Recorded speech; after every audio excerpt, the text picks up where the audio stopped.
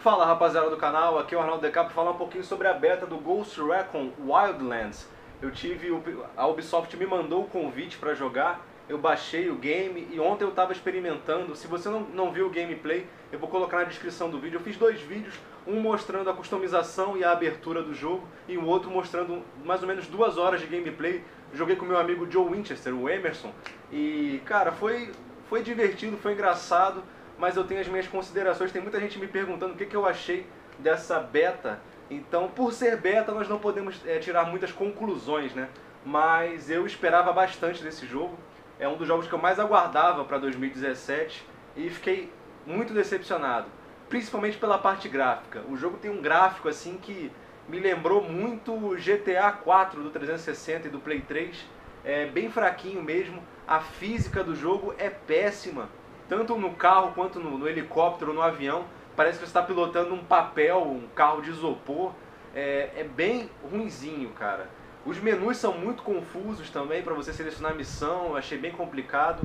É, a diversão com os amigos é bem legal, é bem, bem divertida, mas é, esperava muito desse jogo. O gráfico que eles mostraram na E3, não, sabe, foi aquele mesmo efeito que teve no Watch Dogs, que eles mostraram um gráfico absurdo e entregaram um jogo que não era tão bonito quanto eles tinham mostrado. Apesar de, de que o Watch Dogs é um jogo bem divertido, gostei muito do Watch Dogs, mas ele não tem aquele gráfico mostrado na E3 quando ele foi anunciado. É a mesma coisa com Ghost Recon, aquela coisa tradicional da Ubisoft, né?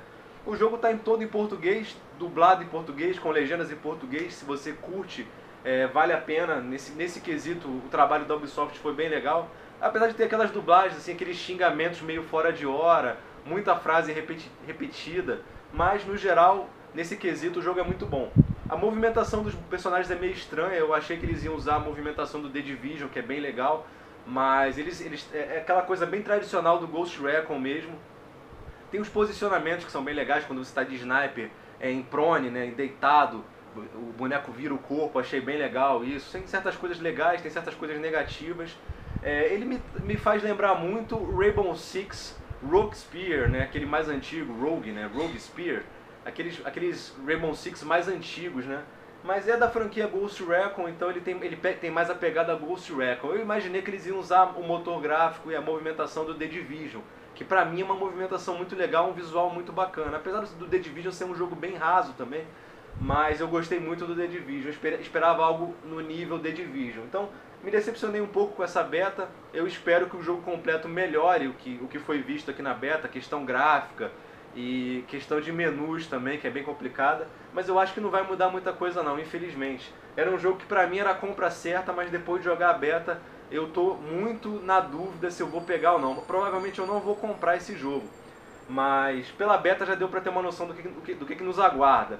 É, missões repetitivas, é, física ruim, um gráfico datado, porque esse jogo está em produção há 4 anos, então o gráfico dele é meio de 4 anos atrás, de 3 anos atrás. Me lembrou muito, como eu falei, o GTA 4.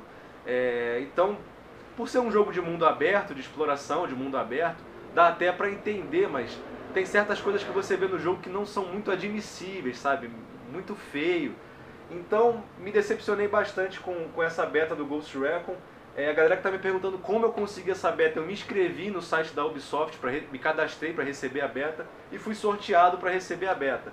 Então, se você conhece alguém que tenha recebido a beta, você pode pedir um convite para essa pessoa. Só você adicionar ela no Ubi Club. É, quem quiser me adicionar no Ubi Club, é minha, a, a meu, o meu nick lá também é Arnaldo DK, igual a minha gamer tag. Então, esse é mais ou menos um review aí, uma prévia do meu review do Ghost Recon da beta, né? Não dá pra gente falar muito da beta porque é um produto que não foi finalizado ainda, né? Mas eu não gostei do que eu vi. Me diverti um pouquinho, foi legal, mas sabe, aquela coisa meio enjoativa, sabe, muito repetitivo. Enfim, é um jogo que eu, eu não pretendo comprar.